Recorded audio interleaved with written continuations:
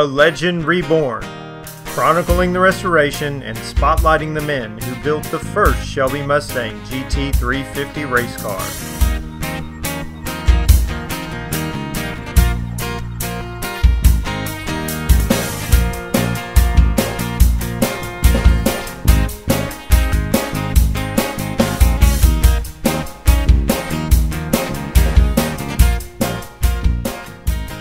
On this edition of A Legend Reborn, the crew visits sunny Southern California to interview motorsports legend Larry Ofria.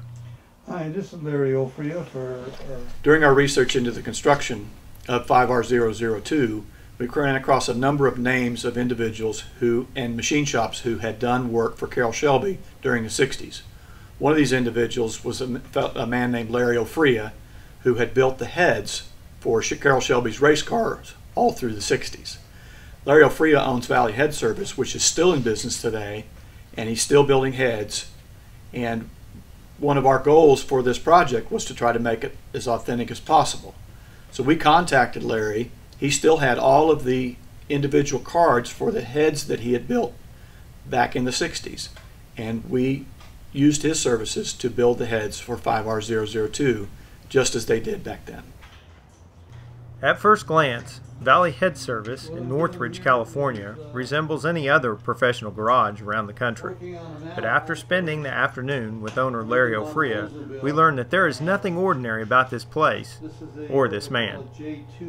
Larry says he's always been interested in automobiles. His fascination began with a pair of Willys, a Willys Coupe and a Willys Pickup, both 1941 models.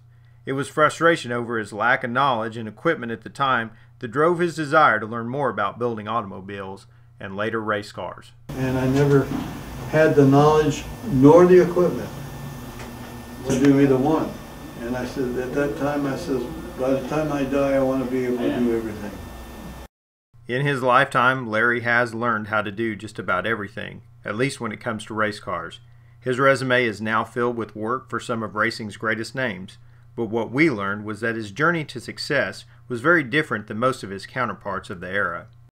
When I first started out, I, I was in a chicken coop, which used to be my father's workshop.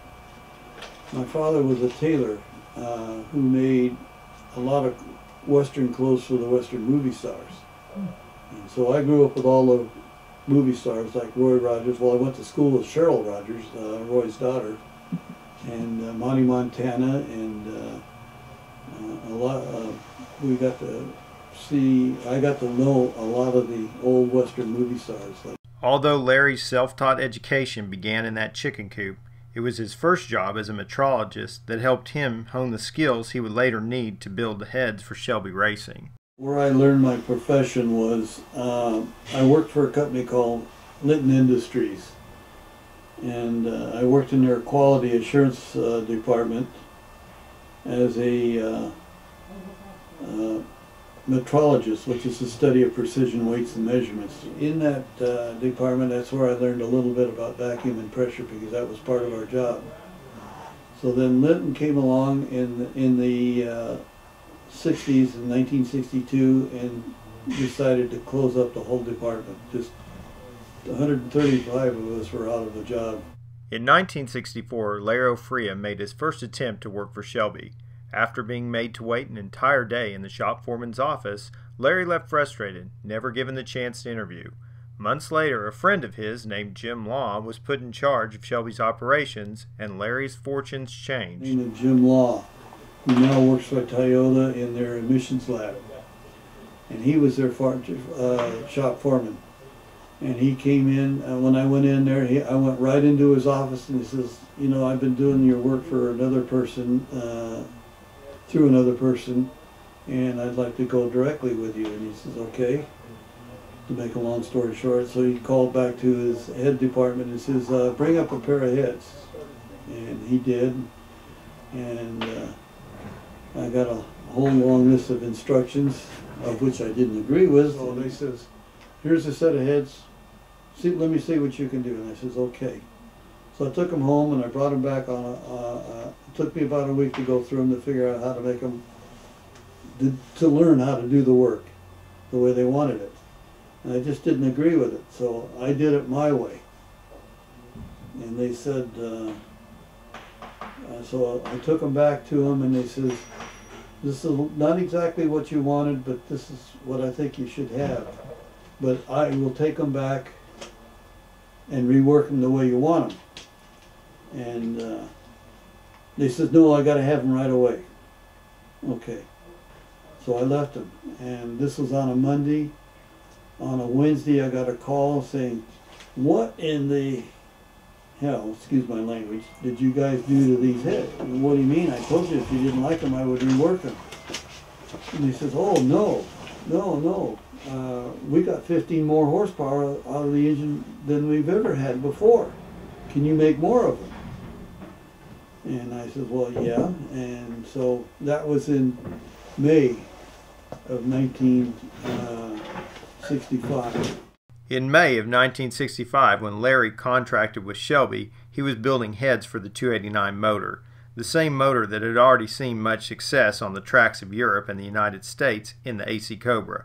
Although Larry had been doing work prior with another contractor, and most likely some of that work contributed to the Cobra's success, Larry now had his opportunity to directly impact the future of Shelby Racing. These are the heads that uh, we got back today from Larry Ofria at Valley Head Service. These are the heads that are going on 5R002. Uh, we took a, a bare set of 60, late 64 Hi-Po heads and sent them to him to do everything that he did to the original heads for the car. Uh, first thing that he did was we did a, a porting and polish job on, on both the intake and exhaust ports. Uh, the intake ports flow 197 CFM, the exhaust ports, ports flow 170 CFM. Uh, he port matched them all so they all flow exactly the same. Uh, he put uh, stainless steel valves in it and set all the springs up for the cam that we're going to use. He works very closely with Engle cams and have, they've developed a, a special cam for high performance 289s over the years and he set these heads up to flow at the specs of that cam. Uh, we did we did a intake port job. He uh, ported the heads all the way down into the combustion. I mean, the valve pocket. He installed uh, 194 valves on the intakes and 160 on the exhaust. He uh, polished all the combustion chambers and uh, reworked the combustion chambers so we get better flame travel. Uh, he filled in the water passage holes on the uh, head surface to uh, stop the uh, steam pockets from forming in the head. Um, and then he ported the exhaust here and port matched all the exhaust and poured them all down into the valve pocket and uh, and then he put uh, retainers and springs on the heads cut the, cut the heads for larger springs and we pretty much had him do everything just like that they would have done in 1965. And then he stamped the heads with Valley Head Service, Canoga Park, California, just like they would have originally. Every Monday was pickup and delivery day. Would, they would give me four sets of heads. I'd start on Tuesday and get them done by Friday and deliver them on Monday. And in the meantime, I, was, I had free run of the shop, so to speak. And at that time, I was only interested in the engine shop, so I didn't get around and see the cars, the production lines, or anything like that. But we started out at Princeton Street, uh, and then uh, later on, we went to the uh, uh Imperial plant, which was a uh, aircraft hangar, and that's when they started making a production line. So all we did was the porting, and they had their own valve department uh, that they did all in-house, and the finish work they did all in-house. And then as time went on, we started doing more and more work for Shelby. Like some of the other research and development that Larry did for Carroll Shelby was on intake manifolds. Larry had extensive knowledge of induction systems, and he used that knowledge to develop intake systems for Carroll Shelby's race cars. We chose not to use Larry on this car because this car came with a Cobra race engine installed, and that was done before Larry started doing the intake manifolds for Carroll Shelby in 1966. Started doing manifolds, and they, they wanted us to match the manifolds to the heads because the manifolds were very good. But, but what year did you start doing the manifolds? Uh, I would say it was in the 289, so I would say probably 1966 or 67 we started doing the manifolds. Now you were doing were you doing all the manifolds for for Shelby Racing at that point? As far as I know. As far as you know. Well, I was doing all their work after Right. July. Okay. So after July of 1965, I was doing all of their work. So I would have been, I was doing both the Webers and the single four barrels. The ones for the Cobras. Now this is only for the race versions. And then, like I said earlier, the all the stuff that went to Le Mans when Ford run everything there was all the stuff that I had done. Around 68, started moving faster and faster. And, and, and in 1970, we were really going full bore at that point. I mean, we were really producing some stuff. Well, you said you were doing four heads a week to begin with. Yes. Four sets of heads a week. Some of them went in boxes, some of them went on engines, and some of them they sold over the counter. Although Larry did work for Shelby on a variety of projects, his work on the engine heads is the most notable. One of the tools that made him so successful in this area was the airflow bench he built himself. in 1968. And that kind of gave us a leg up on what was happening in the real world, so to speak. You, as you can see, these are several prototype heads. That's that was the Shelby prototype head when he was doing work with Chrysler. Airflow benches are commonplace today. However, in the 1960s, their use was more innovative.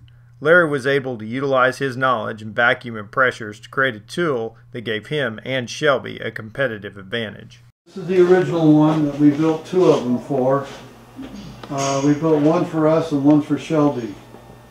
And uh, we used it up until about seven or eight years ago, and then we bought the new one here. And this is all the computerized version of it. And Larry speaks fondly of Carroll Shelby when you mention his name. He credits the tall Texan for much of his success, but there were other influences by big name racers who also had a major impact on Larry's career. And uh, mine, in fact, if it wasn't for him, I wouldn't be in business today, was a guy by the name of Mickey Thompson. And somehow or another, Mickey Thompson was able to get a hold of me. I did some work for him uh, on the Ford um funny cars that he was uh, building. He had two of them. One of them was driven by Danny Ongais. The other one was driven in the early times by Pat Foster, and then later on became Bobby Pickett uh, who would happen to be our driver. When I needed something, Mickey was there. I cannot say enough good things about Mickey Thompson. Mickey Thompson was a guy, if he liked you, he'd give you the world. If you didn't like it, you better leave town. or start digging. but uh, again, I cannot say enough good things about Mickey. And then, of course, we did the Pontiac work uh, for uh, a guy by the name of Al Bartz, who uh, was um getting the engines. Uh, Al Bartz was building the engines for TG Racing, which was Jerry Titus yeah. and, and Terry Godsall. Uh, now that's the man I really miss, Jerry Titus. T- Jerry Titus. Jerry Titus' shop was right next door to us. Really? Yes, and uh, that guy was probably the biggest gentleman in the world. Really? I mean, he'd give you the shirt off his back if it was zero outside. Jerry Titus died days after his 1970 Firebird hit a bridge embankment at a race in Elkhart Lake, Wisconsin. The car was reported to have been crushed after an inconclusive test was performed to determine the cause of the crash. The only part of the 1970 Firebird left was the trunk lid, a piece of racing memorabilia that now hangs in Valley Head Service as a tribute to Larry Ofria's fallen friend. Out and all, and we're in the process of rebuilding it now and refinishing all this